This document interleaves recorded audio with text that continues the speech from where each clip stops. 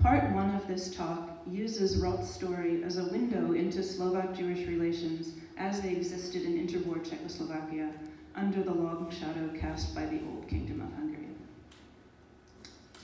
Benjamin Eichler was the president of the Central Association of Jewish Religious Communities, or UJNO, in post-war Slovakia from 1955 until he was forced to step down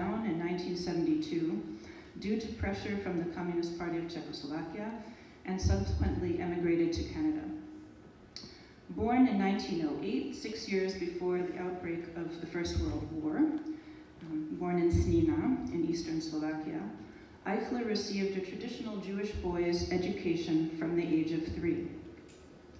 What I learned there as an eight to 10 year old kid, he wrote in his memoirs in Toronto in 1977, I know even today. And today, when I read with great fluency from the text of the Torah, I built the foundation then 60 years ago.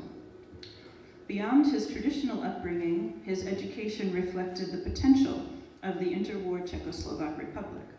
He attended a gymnasium in Bratislava in Hungarian, but then switched to German language schools in Brno, and then to another German language school in Levocha, where he completed his exams, Maturita, in German. His success opened up the possibility for study at Charles University in Prague, in Czech, where he trained to practice law, which he did from about 1931 until he was mobilized under President Beneš's 1938 order. After escaping from military service, he survived in hiding in Slovakia, as did the majority of the small percentage of Slovak Jews who survived the war.